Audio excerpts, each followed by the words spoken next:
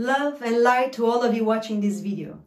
I'm a bit short on time and preparation for it, but since Fernando graciously asked me to be part of this summit, I thought of sharing a short but powerful message with all of you wonderful beings seeking for the consciousness of a new earth.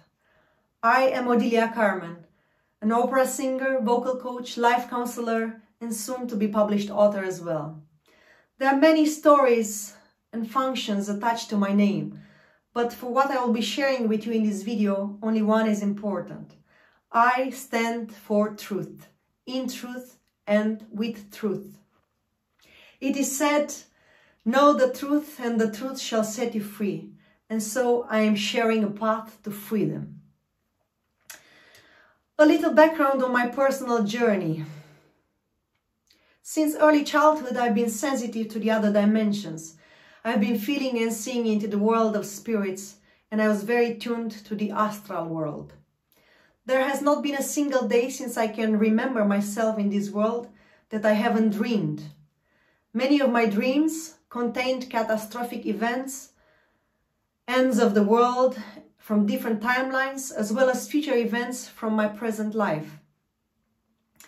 I've enjoyed many beautiful places through lucid dreaming, as well as horrorful attacks from not so nice beings, to say the least, which embedded in me both fear and amazement and made me search for the ultimate power to overcome and control my reality. Since it is quite challenging to relate to a society that has no clue of the other dimensions of life without being perceived as crazy. Nevertheless, Fast forward into the present moment, after a plethora of experiences, a life of research, and through the wonderful grace of our Creator, I have received great insights and initiations from the spirit world. Today, I would like to speak to you about the power of the Word.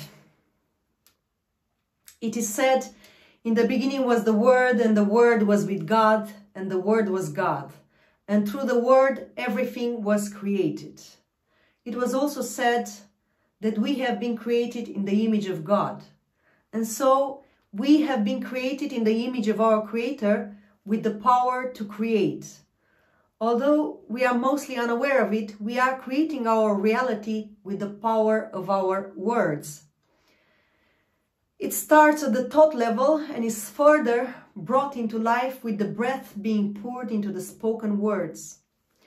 Our power to create, though, has been hijacked at the thought level via implanted systems of beliefs on the matrix of our reality.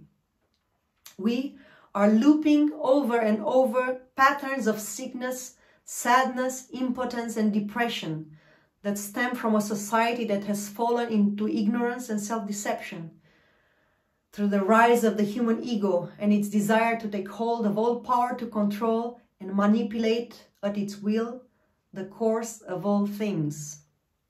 The truth is ego cannot hold any power of creating unless it is creating in the image of its creator, in wholeness that is, with reverence to all life and all beings. It is said we are born with a free will, and there is much misinterpretation around that. We believe we are free to choose and create whatever we want, but in truth, we only have two choices, to create from the ego or from the truth. One leads to death, another to life. Creating from the ego means creating from the ignorance of limited perception and self-deception in an attempt to manipulate reality to our individual pleasure. But since everything that is created, including our ego, stems from the truth, truth is the final frontier as well. We are doomed to face the truth of our beings, meaning all that we are experiencing as creation is but a reflection of what we are choosing to be, what we choose to serve and pursue. In the case of our ego, self-deceived by the desire of power and control, that would be limitation, lack, sickness, betrayal, inequality, and so on. Much of what we already see in our reality today. However, if we stand in the image of our Creator, the truth, we create from truth and in the image of truth.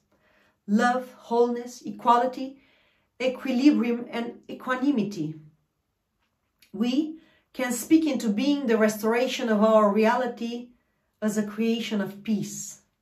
We can bring heaven on earth, not by expecting it from the outside, but by reflecting it from the inside of our hearts and our beings.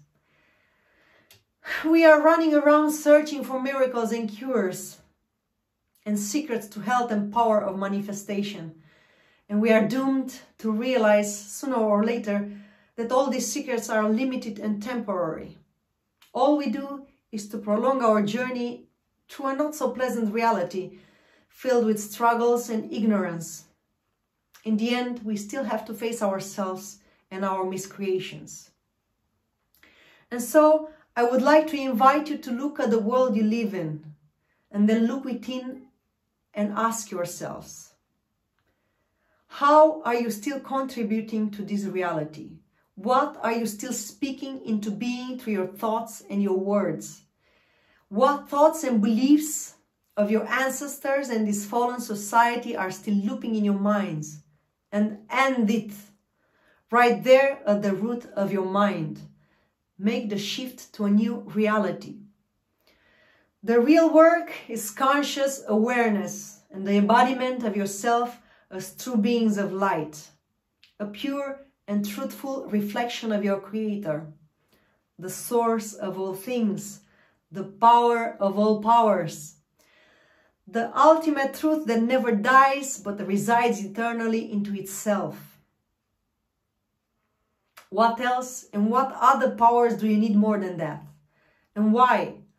That is the self-deception that you must seek to end. And this is the end of my message for today. I wish you all a beautiful journey through life and your self-discovery.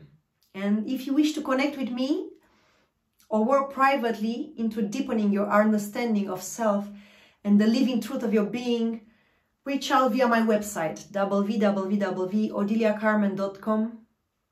Much love and light to you all and a beautiful awakening into truth.